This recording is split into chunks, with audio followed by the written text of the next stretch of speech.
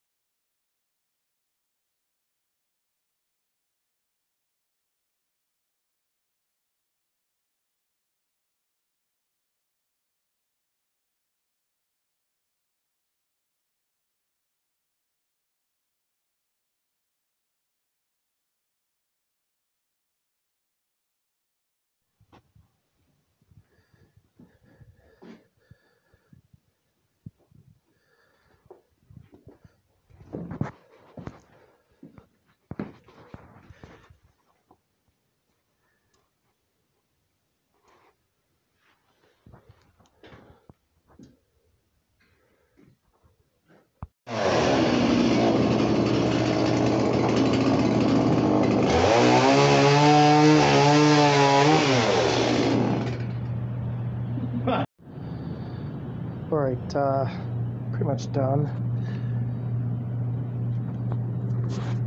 In our five gallon bucket. I ended up taking one of the um, nipples, unthreading it, taking the guts out, and using that to drill a hole. I'll use the drill bit, drill a hole in the bucket, and uh, that's how that works. I've got the line laid out. Got some homemade feeders in here. Literally just bought some tiny trash pails from uh, Walmart. Made some little wooden trays. Kind of like a bigger version of that, so I can uh, maybe feed them once, once a week instead of every day. In the process of putting the heat tape on is literally just some old sap line. It happened to fit that perfect. Stay tuned.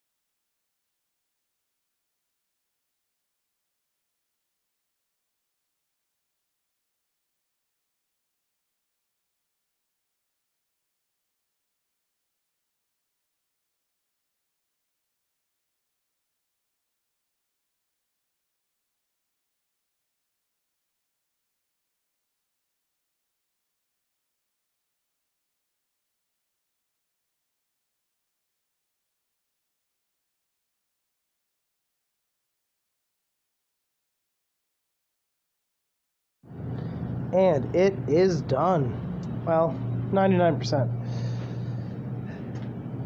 I've got some pallets that are just perfect. Um, there's another one that's going to be over here, and uh, one I'm going to set up there. But I didn't bother bringing those into the garage because I'm going to have to take them off so I can move it out anyways. But I just wanted to make sure they would fit. And I've got a tarp over there. Come on, zoom in. Come on. There you go. I rolled that out. That's going to be perfect to fit over everything so I can cover them up at night. and uh, yeah, the water, the food, everything's all set. I'll probably end up insulating this bucket because uh, the heat tape I expected to have a little extra than I did. But oh well. Yeah, it's looking good. Here's the uh, cage, the door to this one. I'll end up tying that up. I shouldn't be taking them out of the cage all that often. Um, yeah, pretty much. I'm not going to film me putting the legs on. There they are. It's going to stand about a, a good foot and a half off the ground so I can shovel out underneath it when I have to. So, uh, yeah, just pretend you saw me put those on. I'm not going to film that.